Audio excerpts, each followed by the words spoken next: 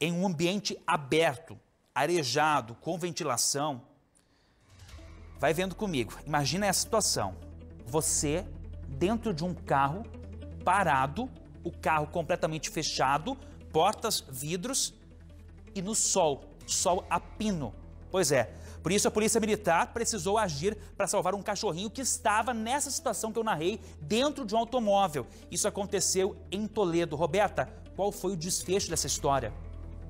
Wagner, essa situação foi flagrada pela polícia ontem à tarde no Lago Municipal. Algumas pessoas caminhavam ali pelo principal ponto turístico da cidade quando se depararam com o cachorrinho preso dentro do carro. Estava um calor intenso. Ontem os termômetros passaram dos 30 graus, então a sensação térmica dentro do veículo era bastante alta e perigosa para o animalzinho. A polícia militar foi chamada, apesar das testemunhas terem tentado encontrar os donos do bichinho, eles não conseguiram. Assim que a equipe policial chegou por lá, precisou então estourar o vidro e finalmente retirar o cachorrinho de pequeno porte de dentro do carro. Ele estava bastante ofegante, claro, com bastante calor e o risco de, de acontecer alguma coisa, algum problema de saúde, era bastante grande. Nós conversamos com o tenente da Polícia Militar, o Eduardo Pérez, que deu mais detalhes sobre essa situação, porque os donos desse cachorrinho podem responder por maus tratos. Vamos ver.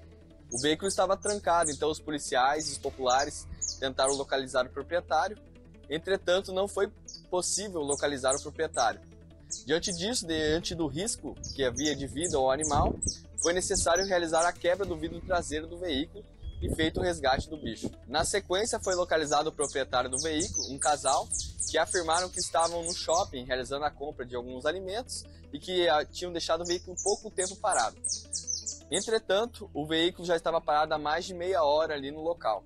Diante disso, o proprietário foi encaminhado para demais órgãos para providências e o animal foi recolhido, sendo entregue para algum familiar desse proprietário do veículo. O animalzinho passa bem, mas esse pessoal que estava com o carro responsável, tutor pelo animal, se complicou e agora vai responder, foi levado para a delegacia e responde depois judicialmente. Questão de responsabilidade, né, gente?